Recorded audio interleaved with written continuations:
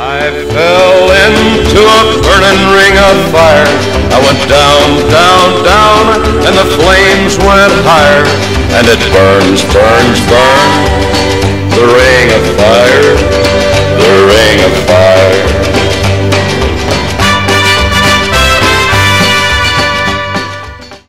All right, what I've got here is an organic material. It's cornstarch, something that you would cook with. Pretty simple. And he's going to light this match and see if we can't set this organic material on fire because organic materials are flammable. Strike the match and see if you can't light this. Good job. Oh God, no. What happened? Nothing? Did you? Oh, what happened? Nothing happened. It went Has anybody ever heard of a grain elevator? No. No. What? You know what a silo is? Yeah. I know what you put, put, never mind. I know what you Which put. put what? Okay, it's where you store uh, things that are harvested, like wheat, corn, stuff like that. Heard of that? Oh, no, I want the seeds. Not a greenhouse, a silo on a farm. Anyway, inside there, there's an elevator or some sort of machine that would take part of that from one side to the other Oh, yeah. to transfer it so you can put more in. And when that happens, you get dust, sort of like, I mean, you know, this stuff. Can you see that dust? It's pretty dusty. So we've got cornstarch that's natural. And in a grain elevator, they've got grain that is natural, made out of either corn, wheat, whatever. So when that stuff goes from one place to another, it creates this dust. And if there's anything in there that can create a spark, like a piece of metal stuck in the grain, hits the metal from the crane or the elevator, could create a spark, something bad might happen. In 1998, there was a grain elevator explosion that killed seven people. Earlier than that, there was one that killed 14 people. Earlier than that, there was one that killed 30 some people and it leveled a whole town in Minnesota. I'm talking about the whole farm, the factories that crushed the grain and all that stuff, uh, block by block by block. It just leveled the whole town. So that's a pretty powerful explosion, isn't it? Yes, it is. So we're talking about rate of reaction, and we're seeing how concentration and surface area affects a chemical reaction. Could we light this cornstarch on fire just now with the match? No. All right, let's see what happens when we increase the concentration and surface area.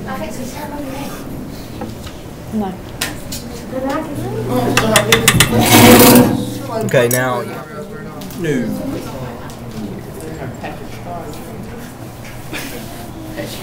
Did you go drop it in there?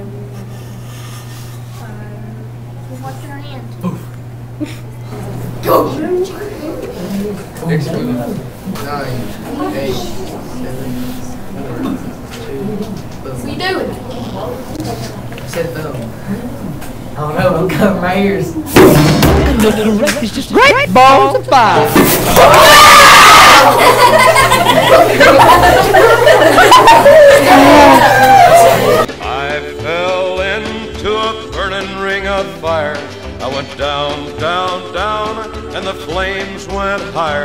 And it burns, burns, burns. The ring of fire, the ring of fire.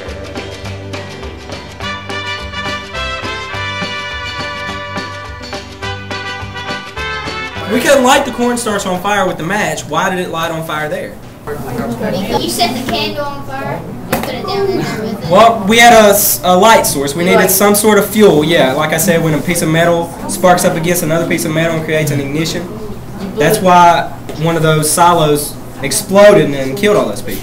So this represents our silo or our grain elevator.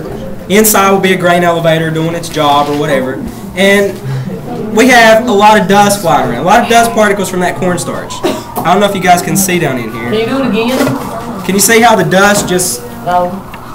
um, engulfs the whole can. did it? How'd you It's all up against the side. How'd you get the lid to blow off?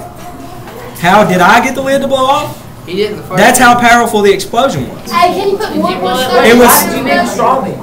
I needed the straw to put air in here to make dust so the flame would spread. So the dust like came from the fire. So when there was no fire, when the cornstarch was in here, the flame was in there, there was no fire. When I spread the cornstarch and made the dust, then that increased the surface area and it increased the concentration of molecules colliding with one another. And they were all able to set on fire. And one set the other one on fire, another one set that one on fire, and there was a, a chain reaction of a huge chemical reaction, and that's what you see. Boom. Right.